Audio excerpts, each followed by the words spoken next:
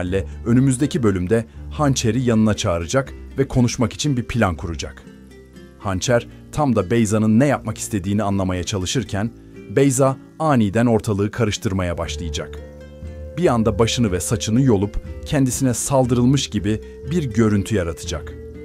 Ardından çığlıklarla merdivenlerden aşağı yuvarlanarak durumu daha da dramatize edecek.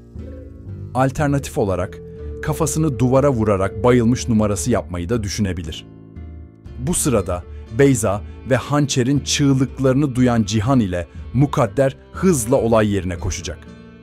Karşılaştıkları manzara ise tam bir kaos olacak.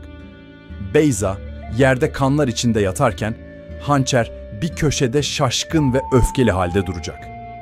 Cihan bu görüntü karşısında Hançer'e büyük bir öfkeyle çıkışacak.